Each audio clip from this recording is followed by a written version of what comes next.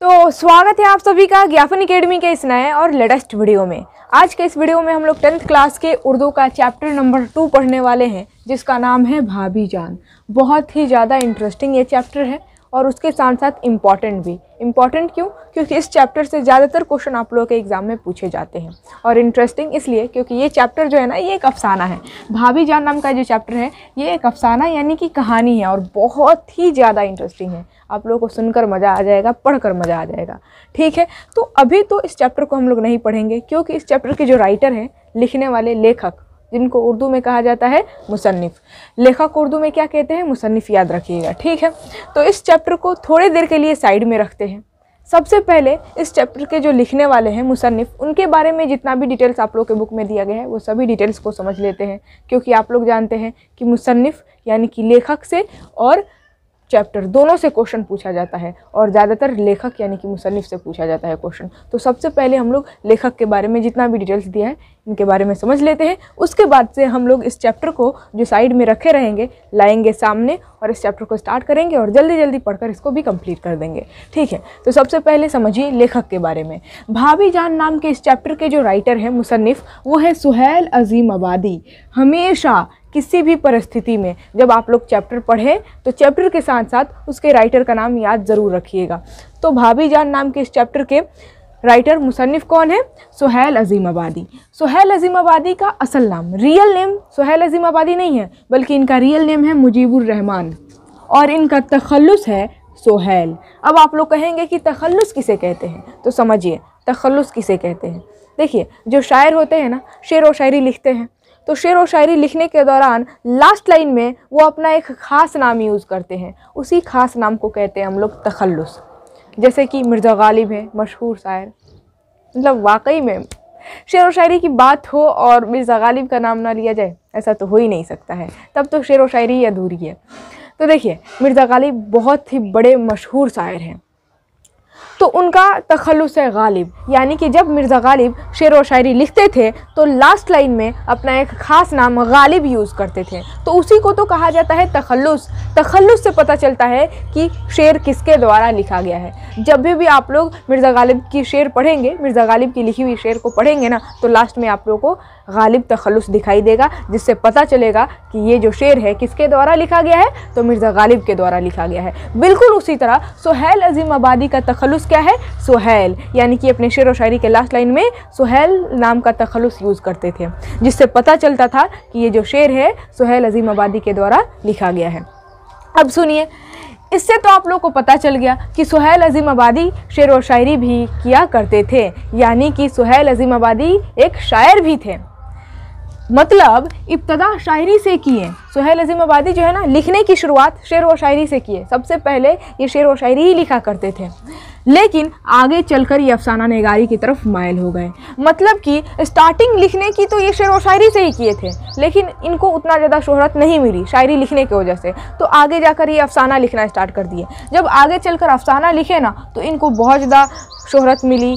लोग बहुत ज़्यादा पसंद किए इनके लिखे हुए अफसाने को और बहुत ही ज़्यादा बेशुमार अफसाने लिखे और फिर पीछे मुड़ कर नहीं देखे कि हमको शेर व शायरी लिखना है कि नहीं। डायरेक्ट शेर व शायरी लिखना छोड़ ही दिए। अब अफसाना लिखते चले गए और बहुत बेशुमार, मशहूर, एकदम फ़ेमस फ़ेमस अफसाना लिखे, कहानी लिखे। ठीक है, अब आगे बढ़िए। पैदाइश इनकी हुई थी उन्नीस से ग्यारह ईस्वी को पटना में याद रखना है। क्वेश्चन पूछ देता है सोहेल अजीम आबादी की पैदाइश कब हुई? ऑप्शन में दिया रहेगा उन्नीस सौ ग्यारह, या फिर कहाँ हुई? तो ऑप्शन में दिया रहेगा पटना, टिक कर देना है। आगे बढ़ते हैं, इनका ताल्लुक जो है ना, ज़मींदार ख़ानदान से था। इनके मतलब इनका जो परिवार ख़ानदान था, ज़मींदाराना ख़ानदान था, ढेर सारा ज़मीन और जायदाद था इनके यहाँ। ठीक है, एक साल की उम्र में इनके वालिदा यानी कि माँ का इंतकाल हो गया था। तो परवरिश और इब्तदाई तालीम व तरबियत एक मुअल्लिम की सरपरस्ती में नानिहाल में हुई थी। देखिए, सोहेल अजीम आबादी जब एक साल के थे ना तो इनकी माँ का इंतकाल हो गया। तो हुआ ये कि सोहेल अजीम आबादी की परवरिश और इब्तदाई तालीम व तरबियत, यानी कि शुरुआती शिक्षा दीक्षा जो है ना, एक मुअल्लिम की सरपरस्ती में हुई थी इनके नानिहाल में। इनके नानिहाल नानिहाल समझते हैं ना? कभी कभी नानिहाल को नौनिहाल भी बोला जाता है। नानिहाल का मतलब होता है नानी का घर या फिर मामा का घर। ठीक है तो इनकी परवरिश और आप बोल सकते हैं शुरुआती पढ़ाई लिखाई का काम जो है ना, इनके नानिहाल में एक मौलिम की सरपरस्ती में हुई थी। ये याद रखना है। अब आगे बढ़िए, इनका आबाई वतन। यहाँ पर आबानी लिखा गया है, आबाई वतन। चलिए, आबाई वतन यानी कि भले इनकी पैदाइश हुई थी उन्नीस सौ ग्यारह ईस्वी को पटना में, लेकिन इनका आबाई वतन यानी कि मूल निवास कहाँ है? वो है शाहपुर भदौल, जो कि पटना में ही कायम है ये। मतलब पटना में ही है शाहपुर भदौल। तो ये याद रखना है इनका। ये कहाँ के मूल निवासी है? तो शाहपुर भदौल। ये भी क्वेश्चन पूछ सकता है। आगे बढ़िए। मुलाजमत की बात कर लें कि सुहेल अजीम आबादी कहाँ नौकरी किए थे? तो ये ऑल इंडिया रेडियो में मुलाजमत यानी कि नौकरी कर रहे थे। लेकिन हुआ यूँ कि जब ये नौकरी कर रहे थे ना तो कोई प्रॉब्लम क्रिएट हो गया, जिसके वजह से ये अपनी नौकरी के सिलसिले में दिल्ली गए। और दिल्ली जाने के बाद फिर इनका तबादला हो गया श्रीनगर में। तो श्रीनगर में तबादला जब हो गया दिल्ली से श्रीनगर चले गए तो फिर वापस पटना आकर ये अपने मुलाजमत यानी कि नौकरी से इस्तीफ़ा दे दिए। याद रखिएगा ऑल इंडिया रेडियो स्टेशन में ये मुलाजमत कर रहे थे, नौकरी कर रहे थे, लेकिन कोई कारण रहा होगा, कोई वजह रहा होगा, जिसके वजह से वो अपनी नौकरी के सिलसिले में दिल्ली गए, फिर दिल्ली से उनका तबादला हुआ कहाँ? श्रीनगर, और श्रीनगर से वापस पटना आकर ये अपनी मुलाजमत यानी कि नौकरी से इस्तीफ़ा दे दिए। और उसके बाद से यही लेखन का काम करने लगे अफसाना वगैरह लिखने का काम। और इनका एक रोज़नामा अखबार भी है, जिसका नाम है साथी। याद रखिएगा ऑब्जेक्टिव में पूछ सकता है। अब देखिए, इनके ढेर सारे अफसानवी मजमू का नाम आप लोग के बुक में ढेर सारे कहाँ, तीन ही दिया गया है। अफसानवी मजमू का मतलब समझिए क्या होता है। अफसाना यानी कि कहानी और मजमू मतलब किताब। अफसानवी मजमू का मतलब कहानी का किताब। ठीक है तो इनके तीन कहानी के किताब का नाम आप लोग के बुक में दिया गया है। पहला है चार चेहरे, दूसरा है अलाव और तीसरा है आदमी के रूप। ये जो पहला है ना, चार चेहरे, ये प्रकाशित हुआ था आज़ादी के बाद। यहाँ से ऑब्जेक्टिव में पूछ देता है कि सोहेल अजीम आबादी का जो अफसानवी मजमू है, चार चेहरे, ये कब शाये हुआ, कब प्रकाशित हुआ था? तो याद रखिएगा, आज़ादी के बाद। हिंदुस्तान को जब आज़ादी मिली थी ना तो आज़ादी के बाद ये प्रकाशित हुआ था। तो ये तीन किताब का नाम याद रखना है, जो कि सोहेल अजीम आबादी के कहानी का किताब का नाम है। ठीक है। इनका एक नावल भी है, यानी कि सोहेल अजीम आबादी एक नावल भी लिखे थे, जिसका नाम है बेजड़ के पौधे। देखिए, पौधे इस तरह लिखा जाता है, पौधे। लेकिन यहाँ पर पौधे ही लिखा गया है।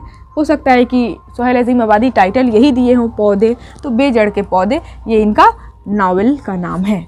और सोहेल अजीम आबादी बेशुमार अफसाने लिखे, बहुत ही ज़्यादा कहानी लिखे ये और बहुत ज़्यादा मकबूल व मशहूर हुए। और इनके अफसानों की तादाद देखिए, कितने सारे ये अफसाने लिखे हैं। तकरीबन 125 ये अफसाना यानी कि कहानी लिखे हैं। बताइए 125 ठीक है। और लास्ट में इनका इंतकाल हो गया था 1980 में। तो ये हो गया सुहेल अजीम आबादी के बारे में सारा डिटेल्स जो आप लोग के बुक में दिया गया था। हर एक एक पॉइंट मैं आप लोग को बता दी और जितना भी मैं आप लोग को डिटेल्स इनके बारे में बताई, वो सारा डिटेल्स आप लोग को याद रखना है, ठीक है? यहाँ तक सबसे पहले आप लोग स्क्रीन ले लीजिए, क्योंकि चैप्टर को स्टार्ट करूँगी तो फिर हो सकता है कि मैं आप लोग को स्क्रीन लेने का समय देना भूल जाऊँ, ठीक है? तो सबसे पहले आप लोग यहाँ तक स्क्रीन फटाफट ले लीजिए। अब चलिए हम लोग आगे समझते हैं। देखिए चैप्टर को जो साइड में हम लोग रखे थे, अब उसको सामने लेकर आते हैं और स्टार्ट करते हैं और फटाफट इसको कंप्लीट भी कर लेते हैं। ये जो कहानी है अफसाना, भाभी जान टाइटल देखकर आप लोग को समझ में आ गया होगा कि इस कहानी में भाभी, किसी की भाभी जान की कहानी बताई गई है। अगर आप लोग ऐसा सोच रहे हैं ना तो बिल्कुल सही सोच रहे हैं। इस चैप्टर में भाभी जान की ही कहानी बताई गई है। तो उस भाभी जान का नाम क्या है? तो उनका नाम रहता है रुकैया भाभी। इस कहानी का मरकज़ी किरदार। मेन कैरेक्टर कौन है, जिस पर ये कहानी लिखी गई है, वो है भाभी जान। और भाभी जान का नाम क्या रहता है? रुकैया भाभी। क्योंकि इस चैप्टर में भाभी जान की ही कहानी बताई गई है। इसीलिए इस चैप्टर का और इस कहानी का नाम क्या रख दिया गया है? भाभी जान। जिस भाभी जान की कहानी बताई गई है, उनका नाम क्या है? याद रखना है, रुकैया भाभी। और जिसकी ये भाभी रहती हैं, पता है उनका नाम क्या है? उनका नाम है अख्तर। यानी कि अख्तर की भाभी रहती हैं, रुकैया भाभी। इसका मतलब अख्तर के बड़े भाई से रुकैया भाभी की शादी हुई है। तभी तो अख्तर की भाभी है, रुकैया भाभी। जी हाँ तो अख्तर के बड़े भाई का नाम रहता है नन्हे भाई और अख्तर के बड़े भाई की शादी अख्तर की जो भाभी हैं, रुकैया भाभी से हुई रहती है। तभी तो अख्तर जो है अपने बड़े भाई की वाइफ को भाभी बुला रहे हैं ना, रुकैया भाभी। ठीक है? तो ये थोड़ा रिश्ता नाता जो है ना, आप लोगों को समझ में आना चाहिए। जैसे कि देखिए, अख्तर है। अख्तर के बड़े भाई का नाम है नन्हे भाई। ठीक है? इनकी शादी हुई रुकैया से। तो अख्तर जो है ना, नन्हे भाई के छोटे भाई हैं। यानी कि अख्तर अपने भाई की वाइफ को क्या बोलेंगे? भाभी ही ना बोलेंगे? यानी कि अख्तर और रुकैया भाभी के बीच क्या रिश्ता है? देवर और भाभी का रिश्ता है। ठीक है? तो थोड़ा हमको भी समझ में आता है, रिश्ता नाता। ठीक है? तो और समझना भी चाहिए। रुकैया भाभी जो है ये किसकी भाभी है? अख्तर की। और अख्तर जो है ना, एक शायर रहते हैं। और रुकैया भाभी के घर अख्तर तीन चार दिनों के लिए रहने के लिए आए रहते हैं। और इस कहानी को ऐसे दिखाया गया है ना, ऐसे लिखा गया है सोहेल अजीम आबादी इस अफसानों को ऐसे लिखे हैं कि जैसे लग रहा है कि भाभी जान की कहानी खुद उनके देवर अख्तर ही बता रहे हैं, अपने मुँह से बता रहे हैं। इस तरह इस कहानी को लिखा गया है। लिखे हैं सुहेल अजीम आबादी लेकिन ऐसे लिखे हैं ना कि लग रहा है कि अख्तर ही अपनी भाभी जान की कहानी को बता रहा है। ठीक है, अब चलिए मैं आप लोगों को एकदम स्टार्टिंग से ये कहानी बताती हूँ। देखिए, ये जो अफसाना है भाभी जान, इसका मरकज़ी किरदार कौन है? मेन कैरेक्टर रुकैया भाभी। रुकैया भाभी पर ही ये कहानी लिखी गई है। तो रुकैया भाभी को मिसाल बनाकर, रुकैया भाभी को ज़रिया बनाकर लोगों को यही बताने की कोशिश की गई है ना कि लाइफ में कितनी भी बड़ी परेशानी क्यों ना जाए, कितनी भी बड़ी समस्या क्यों ना जाए, हमें उन समस्याओं और परेशानियों को देख भागना नहीं चाहिए डर कर भागना नहीं चाहिए, बल्कि हमें उन समस्याओं से लड़ना चाहिए, उन परेशानियों से लड़ना चाहिए, उनको फेस करना चाहिए। क्योंकि आप सुरक्षित इसी में हैं कि आप उन परेशानियों से लड़ें। अगर आप लोग ऐसा सोच रहे हैं कि इन परेशानियों से दूर कोई ऐसा जगह मिल जाता जहाँ पर मैं एकदम सेफ़ और सुरक्षित रहता, कोई ऐसा कमरा, कोई ऐसा जगह जहाँ पर कोई भी समस्या ना हो तो ऐसा तो हो ही नहीं सकता। आप सुरक्षित इसी में हैं कि आप उन परेशानियों से लड़े जो कि आपकी ज़िंदगी में आई हुई है। परेशानियाँ ज़िंदगी में हमेशा के लिए, ज़िंदगी पर रहने के लिए थोड़ा आती है। परेशानियाँ जो है ना, कुछ समय के लिए आती हैं। तो जब भी भी आप लोग के ज़िंदगी में परेशानियाँ आए ना तो परेशानियों को इतना ज़्यादा परेशान कर दो कि परेशानियाँ खुद परेशान होकर भाग चली जाए। और यही बात इस कहानी के ज़रिए लोगों को बताने की कोशिश की गई है। रुकैया भाभी, जिनकी ज़िंदगी में ढेर सारी परेशानियाँ होती है, परेशानियाँ ही परेशानियाँ, इनकी ज़िंदगी में ढेर सारा समस्या रहता है, लेकिन फिर भी इतना ज़्यादा समस्या रहने के बावजूद भी, इतनी ज़्यादा परेशानियाँ इनकी ज़िंदगी में रहने के बावजूद भी, उन परेशानियों को देखकर ये घबराती नहीं है, बल्कि एक एक करके उन परेशानियों से मुकाबला करती हैं। एक एक करके उन परेशानियों से लड़ती हैं, उन समस्याओं को फेस करती हैं। क्योंकि इनको पता है कि परेशानियाँ ज़िंदगी में इम्तहान लेने के लिए आती हैं कि आप उन परेशानियों से लड़ पा रहे हैं कि नहीं। हमेशा के लिए परेशानियाँ नहीं आती हैं, ज़िंदगी भर के लिए नहीं आती हैं, कुछ समय के लिए आती हैं। इसीलिए रुकैया भाभी जो है ना, जब भी भी इनकी ज़िंदगी में परेशानियाँ, समस्याएँ आती हैं तो चुन चुन कर उनसे मुकाबला करती हैं ये। तो कई भाभी की ज़िंदगी मान लीजिए कोई नया समस्या आ गई अच्छा ये समस्या आ गई, अब चलो इसको किसी भी हाल में हरा देना है हमें। इस तरह, ये इनका मैंटेलिटी इसी तरह रहता है। और इनकी ज़िंदगी में हज़ारों, लाखों परेशानियाँ होने के बावजूद भी, समस्या होने के बावजूद भी, ये निडर खड़ा रहती हैं, निडर लड़ती हैं, थर्राती, घबराती नहीं हैं, और उसके साथ साथ दूसरों की भी मदद किया करती हैं। ऐसी है रुकैया भाभी। मतलब रुकैया भाभी एक जलते हुए क्षमा की तरह है। जो कि खुद जलती और पिघलती रहती हैं, लेकिन दूसरों को रोशनी देती हैं। इस तरह मिसाल दिया गया है। रुकैया भाभी को एक जलते हुए क्षमा की तरह मिसाल दिया गया है। और देखिए, जो अच्छा एक्टर होता है ना, उसी के पास कठिन एक्टिंग आता है करने के लिए, कठिन रोल बहुत सारे, सभी एक्टर जो है ना एक्टिंग कर लेते हैं, लेकिन जो मस्त, ज़बरदस्त अच्छा एक्टर होता है, उसी के पास कठिन, जो मुश्किल एक्टिंग होता है ना, उस करने के लिए आता है। उसी तरह इंसान की ज़िंदगी में होता है। जो इंसान अपने ज़िंदगी की परेशानियों से लड़ लेता है अच्छा प्लेयर होता है, ज़िंदगी की परेशानियों से लड़ता है, खेलता है, हराता है, उसी के पास सबसे ज़्यादा परेशानियाँ आती हैं। तो अगर आप लोग की ज़िंदगी में परेशानी आ रही है ना तो समझिए कि आप अपने लाइफ के सबसे बड़े एक्टर हैं, कि परेशानियों से लड़ पा रहे हैं। और खुदा से दुआ कीजिए ये नहीं बोलिए कि खुदा मेरी ज़िंदगी में परेशानियाँ क्यों दे रहा है। ऐसे तो जो किस्मत पर विश्वास करने वाले लोग होते हैं ना, वो बोलते हैं। आप लोग खुदा से ये दुआ कीजिए कि खुदा मेरी ज़िंदगी में परेशानियाँ दे रहा है तो दे, लेकिन उन परेशानियों से लड़ने की हिम्मत, हौसला भी दे, ताकि मैं उन परेशानियों से लड़ सकूँ, उन समस्याओं को फेस कर सकूँ। ठीक है? तो इस तरह, चलिए अब स्टार्टिंग से मैं आप लोग को रुकैया भाभी की कहानी बताती हूँ। देखिए, रुकैया भाभी जो है ना, इनकी शादी हुई रहती है नन्हे भाई से। नन्हे भाई एक पॉलिटिशियन रहते हैं, यानी कि नेता रहते हैं, और होता ये है कि जब रुकैया भाभी की शादी नन्हे भाई से लगी रहती है तो अख्तर, यानी कि नन्हे भाई के जो छोटे भाई रहते हैं, अख्तर और नन्हे भाई के जितने भी परिवार वाले हैं ना, उन लोगों को लग रहा था कि रुकैया भाभी जो है ना, अपने जब मैके से यहाँ आएँगी, शादी कर लेने के बाद ससुराल में आएँगी तो फिर एकदम राज करेंगी, क्योंकि नन्हे भाई तो पॉलिटिशियन है, यानी कि नेता है वो अपने नेतागिरी में लगे रहेंगे और इधर रुकैया भाभी घर पर राज करेंगी। ऐसा सभी लोगों को लग रहा था, लेकिन ठीक हुआ इसका उल्टा। जैसे ही रुकैया भाभी की शादी नन्हे भाई से हुई तो नन्हे भाई को राजनीति यानी कि पॉलिटिक्स में रहने की वजह से कोई कारण होगा जिसके वजह से इन पर मुकदमा चलने लगा।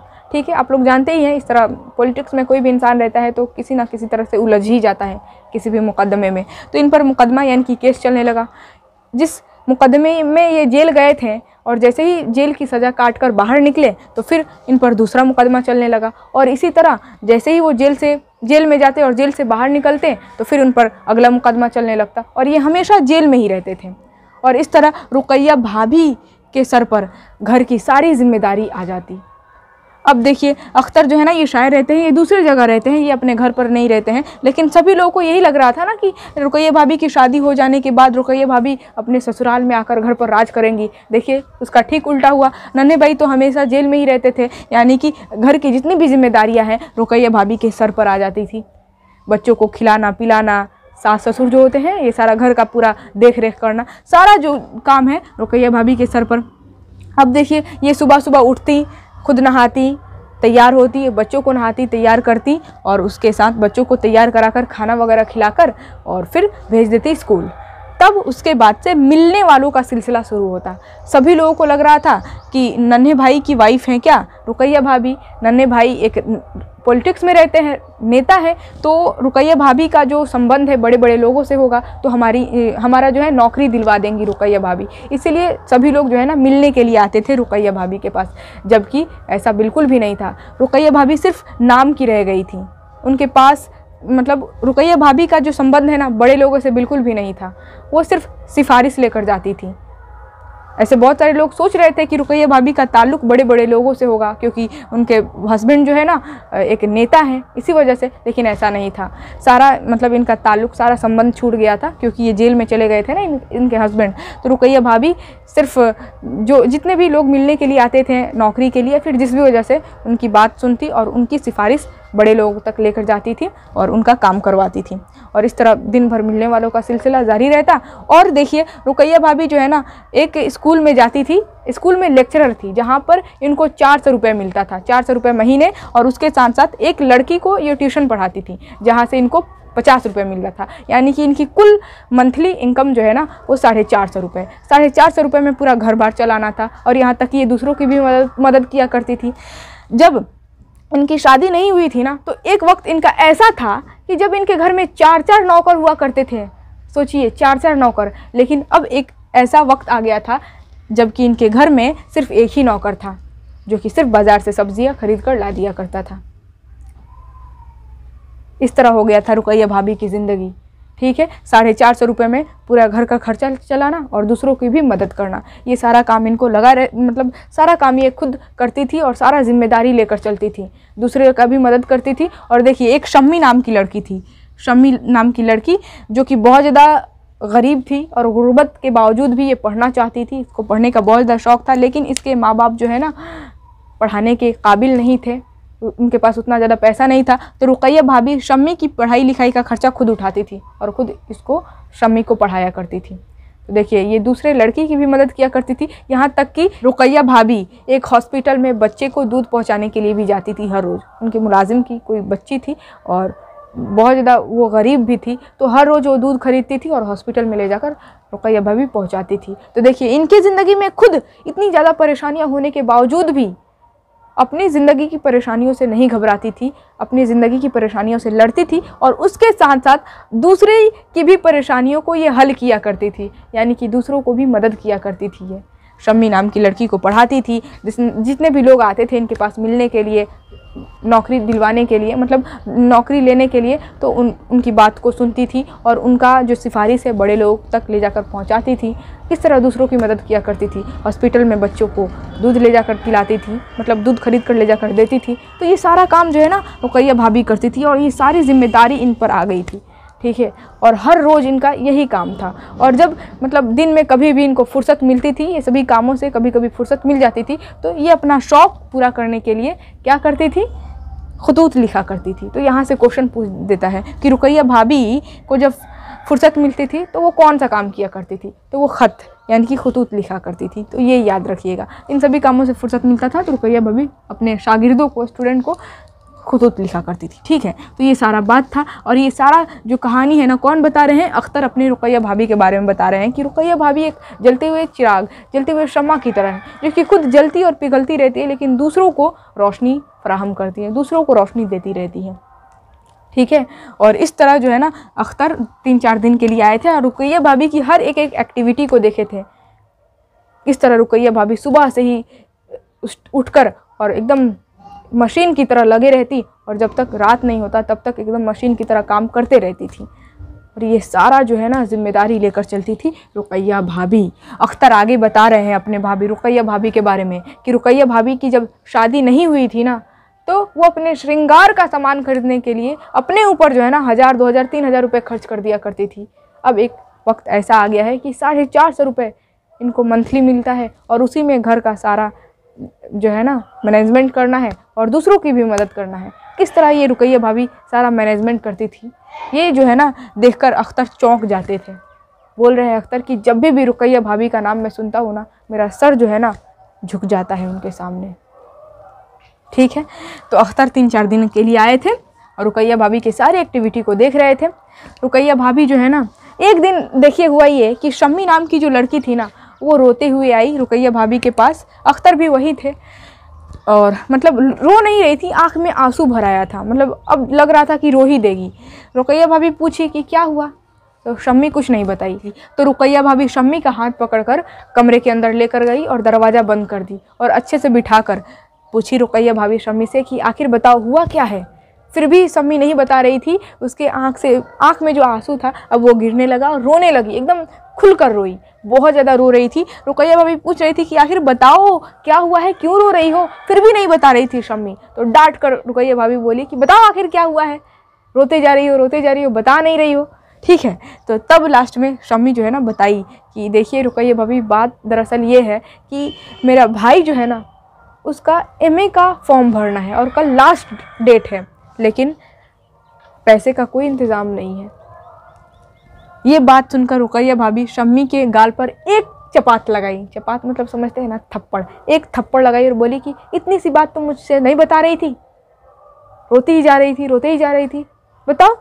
और जाकर रुकैया भाभी जो है ना, अपना अलमीरा खोली और उसमें से दो छोटी छोटी सोने की चूड़िया थी, सोना का। सोने की चूड़िया निकाली और शम्मी को ले जाकर दे दी। देखिए, दो दिन पहले ही वो सोने की चूड़िया जो है ना, रुकैया भाभी अपनी बेटी रेहाना के लिए खरीदी थी।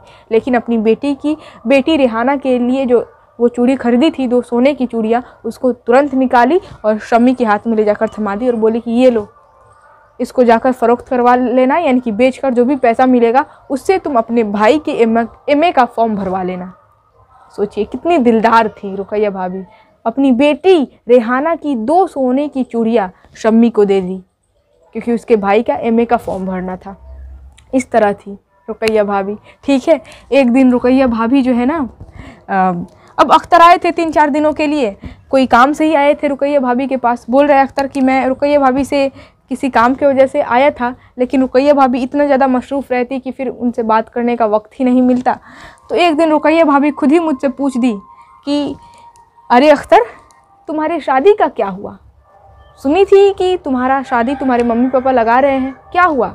तो अख्तर अब वही, खुद ये रुकैया भाभी, यही बात के लिए जो है ना, यही बात पूछने के लिए अख्तर रुकैया भाभी के पास आए थे। और रुकैया भाभी खुद बात छेड़ दी कि, अरे, तुम्हारे शादी का क्या हुआ? तुम्हारे माँ बाप तुम्हारे शादी लगा रहे थे ना तो क्या हुआ?